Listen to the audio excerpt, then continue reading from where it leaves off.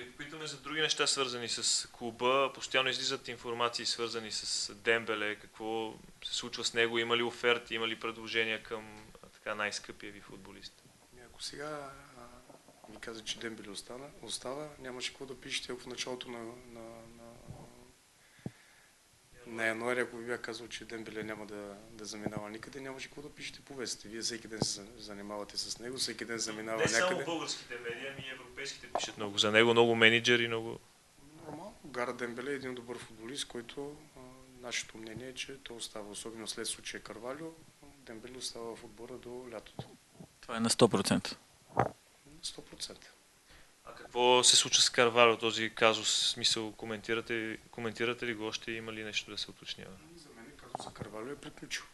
Има адвокат, който ви обясни всичко, че Карвалио няма да действащ договор, защото няма анекс, а и двата клуба не са подписали договора, който а, трябва да се подпише от двете страни, от трите по-точно, защото и Карвалио трябва да има подпис. А, целият проблем е, че Карвалио скри контузията, която имаше и в един момент след устойни прегледи, които ние го пратихме в Германия, се оказа, че той не може да играе професионален футбол. Така че а, в Левски, Левски се изкара по някакъв начин, изкарахте Левски и аз по някакъв начин иска да запазя добрия тон, но Левски за случая беше потърпеш, защото взема един футболист, който на втората тренировка обяви, че трябва да отиде да се оперира и да го няма 3 месеца извън терен. Харесахте ли си десен външен халф или още не е решен този казус? Нормално, след като няма футболист, не е решен, но имаме, имаме предвид футболист, който ще дойде. Да се върнем на Петков. Значи, близки до клуба твърдят, че благодарение на тебе си взел тази компенсация. И какви са вашите отношения с него? Как се разделихте? И ние се разделихме напълно нормално. Даже Петков ми се обади сутринта, за да ми пита дали може да му оставим телефоните, служебните телефони. И му казах, че няма да има проблем. С Петков съм се разделил добре по най-човешкия начин. Да, Петков взема заради мене компенсацията, защото а, мисля, че така е правилно. Един футболист, когато има договор, искаш да го прекратиш и виждаш вече, че този футболист по някакъв начин а, не може да, да помогне на Левски, да му покажеш нужното уважение. Така че с плащането на компенсацията Петков му показа нужното уважение, но той не показа нужното към Левски. А, това тази сутрин ли е бил този разговор? Да, сутринта. Онзи ден, като си взе пакета и след като подписа документа, в който си взе парите, той каза, че е готов да му се направи бенефис, ако Левски организира при сега теклата се обстоят, при сега същата ситуация. Има ли такива, такава възможност? Ами Аз доколкото знам, Петков има отбори и той играе. Бенефис не може да му се направи, докато играе в футбол. Е, Имаше преди прощален матч с Левски. Изпращането, което също връщаме назад, което много хора коментираха, че Петков не е изпратен, самия Петков не искаше да бъде изпратен на 10-ти подобаващо. Той искаше да остане на 19-ти, докато не си вземе тази компенсация, да не подписва, за да не прекратява договора. Така че по същия начин на Петков не може да му направим бенефис, докато не свърши да играе в футбол. Има договор, мисля, че още за година и половина в, да, в на някакъв отбор. Гонзо, от, освен Петков, при седмица беше нападнат от бившия твой колега и изпълнителен директор Дамир Бромиров, който те нарече комплексар. Защо така се получават точно той и Петков са двамата, двамата футболисти, които нападат ръководството на Левски, докато останалите, които си тръгнаха от този Dream Team, останаха, в смисъл, някои казаха, че са си тръгнали разочаровани, но всъщност футболистите не са споделили това мнение. Томашич, Бардон, Топозаков, Мечо. В Левски, пак казвам, че няма никой запазено място и когато дойде момент, когато тези футболисти трябва да си тръгнат и те вече самите го усещат това нещо, е най-нормалното нещо да се разделим. А, Боримиров,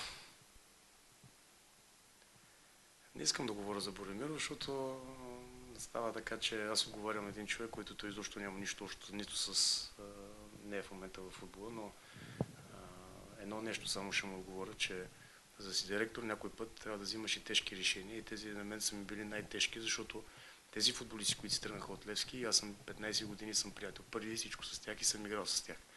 Но в един момент, когато те вече не могат да вършат работа на Левски, е най-нормалното нещо този отбор да се раздели, защото ме, ме интересуват интересите на Левски. Всички тези футболисти, да, дадоха много, направиха много, но това беше 2006 година, сега сме 2011. Нормално във футбол има един момент, в който физиологически не можеш да продължиш да, да бъдеш на това ниво, което, което трябва да си. Така че не съм го направил с някакво удоволствие, а и дали съм комплексар, за да ме осъжда той и постоянно да, да говори за мен, значи явно той е комплексар, защото а, Боримиров аз не искам да го коментирам. Много работи мога да кажа за него. За работа му в Лески един наблюдател, който никаква работа не върши, но това, пак казвам, не искам да, да влизам в такива подробности, да му отговарям точно конкретно, но специално за тези футболисти, пак казвам, свършва времето на един футболист, не може той да бъде, да изпълнява целите и, и изискванията, които има треньора и ръководството към, към тях и нормално да се разделиш по а, добър начин. Всички тези хора, които си тръгнали от Лески, аз съм а, до ден днешен си чувам, приятел съм, така че отношенията са напълно приятелски с футболисти, които си тръгнали. Казахте тези от 2006-та, онзи Dream Team. Днес един от тези хора беше тук и така демонстрира доста приятелски отношения с всички, Игор Томашич. Как се почувствахте, като го видяхте? Ами, аз пак казвам, аз съм приятел за Сигур.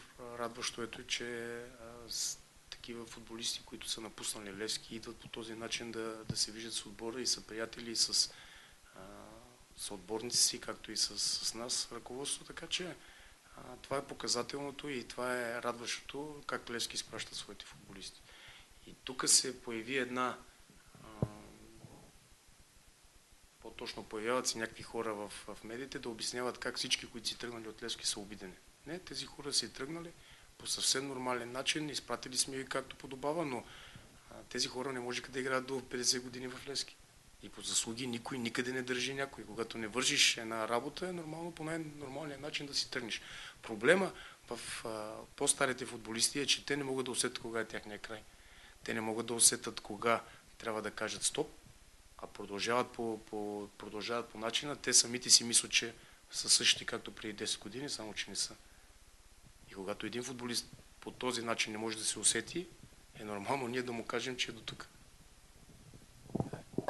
Един последен въпрос от мен е Тодор Батков, който директно е нападнат от Гошо Петков. Дали сте чули какво е неговото мнение, след като ти каза, че благодарение на теб си е взел компенсацията, дали не ти си сърдит по някакъв начин?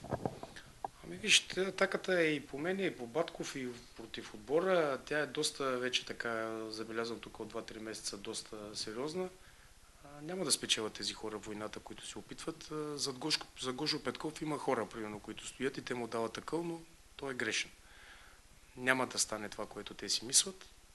Нормално в Левски е отбор, който всичко е спокойно, всичко е нормално и нормално да има атаки отвънка. Въпросът е ние сме уверени в това, което правим.